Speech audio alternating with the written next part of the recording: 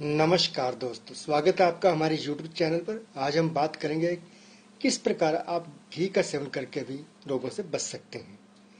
आयुर्वेद में घी को स्वाद बढ़ाने वाला और ऊर्जा प्रदान करने वाला माना गया है।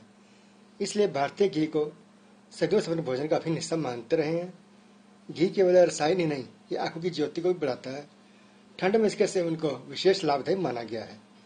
इसके अपने गुणों के कारण ही मक्खन की जगह हम इसका उपयोग कर सकते हैं। दरअसल घी में तीन ऐसी खूबियाँ हैं जिनकी वजह से इसका इस्तेमाल करना ज़रूर करना चाहिए। पहली बात यह है कि घी में शॉर्ट चैन फैटी एसिड होते हैं, जिनकी वजह से यह पचने में आसान होता है, यह हमारे हार्मोन के लिए भी फ़ायदेमंद है। जबकि मक्खन में लॉन्ग चैन फैटी एसिड ज़्यादा होते हैं, जो नुकसानदायक होते हैं। घी में केवल कैलोरी ही नहीं होती, इसमें विटामिन ए विटामिन डी और कैल्शियम फास्फोरस मिनरल्स पोटेशियम जैसे कई पौष्टिक तत्व भी होते हैं। तो ये जानते हैं घी का सेवन करने कुछ प्रमुख लाभ। गाय के घी में कैंसर निरोधी गुण पाए जाते हैं। इसके रोज़ाना सेवन से कैंसर होने की संभावना बहुत कम हो जाती है। विशेषकर यह स्तन व आंत के कैंसर में सबसे अच्छे तरीके से काम करता है। घी बनाते समय घी के तीन लेयर बन जाते हैं। पहला लेयर पानी से युक्त होता है, जिसे बाहर निकाल दिया जाता है।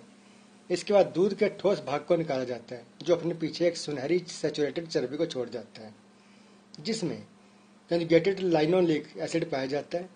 यह कंजुगेटेड लाइनोलिक एसिड शरीर के संयोजी उत्तकों को लुब्रिकेट करने व वज़न कम होने में, से रोकने में मददगार के रूप में जाना जाता है। यह भी एक सच है कि घी एंटीऑक्सीडेंट गुणों से भरपूर होता है। स्त्रियों में प्रदर रोग की समस्या में गाय का घी रामबान की तरह काम करता है।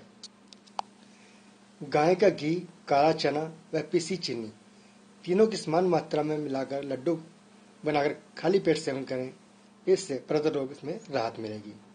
संभोग के बाद कमज़ोरी या थकान महसूस हो तो एक गिलास गुनगुना दूध में गाय का घी मिलाकर पी लेने से थकान व कमज़ोरी बहुत जल्दी दूर हो जाती है। सर्दियों में दिन भर में एक बार दूध में घी डालकर पीने से सेहत बन जाती है। दवाओं के कारण शरीर में गर्मी होने पर या मुँह के छाले होने पर भी यह रामबान की तरह काम करता है। खांसी ज़्यादा परेशान कर रही हो तो छाती पर गाय का घी मसलें जल्दी राहत मिलेगी। जोड़ों का दर्द हो, या त्वचा का रूखापन। पंचकर्म शोधन। आयुर्वेद में हर जगह घी का उपयोग निश्चित है।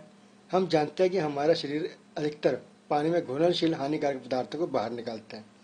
लेकिन घी चर्बी में घुलनशील हानिकारक रसायनों को हमारे आहार नल से बाहर निकालता है।